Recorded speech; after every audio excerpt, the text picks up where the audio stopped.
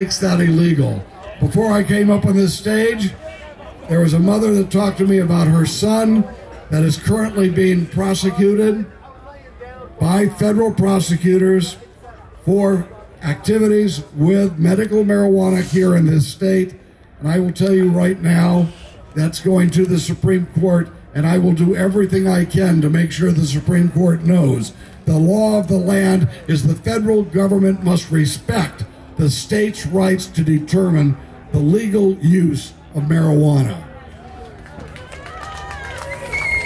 One other, a couple other things just to touch on. I believe legalizing cannabis is number one, a freedom issue. But number two, it's a compassion issue. One of the greatest sins that we have had to experience as Americans is that our government has suppressed, suppressed the actual research into the use of cannabis that could be used for the benefit of man, humankind. The fact is, for a hundred years, when we should have been understanding that there are medical uses that will alleviate the suffering of our people, and that type of research has been suppressed. One university, University of Mississippi, investigating one strain of marijuana, that was a cover for the fact that the, that the people did not want the word to get out. Now, I don't know who the power players are. Maybe they just want to tell us what to do with our lives. But maybe they also represent interest groups in our country that make a profit off offering something alternative to cannabis. I'm going to I'm going to leave with this when we talk with Camp Compassion. At long last, the American people have been alerted that we've got a fundamental problem with opiates in this country. And today, it's up to all of us to make sure that the federal government recognizes and that the research verifies it so we can speak with a loud voice.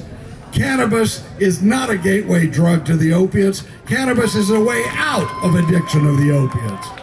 Cannabis is a way that we can prevent people from being addicted to opium. And once they're on the opiates, cannabis is a way of how we can wean someone off of that addiction. This is something we need to get the word out on. I am proud to stand with John Davies and the others who have put this gathering together.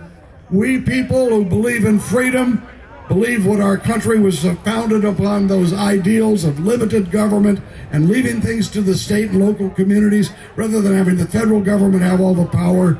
We need to stand together. Those of us who understand the compassion end of the cannabis debate need to stand up. We are standing up for freedom and compassion, and I am with you. God bless you. God bless our freedom.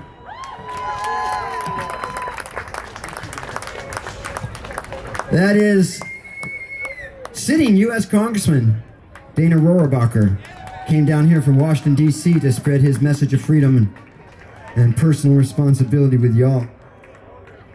Okay, I have uh, good news and I got bad news.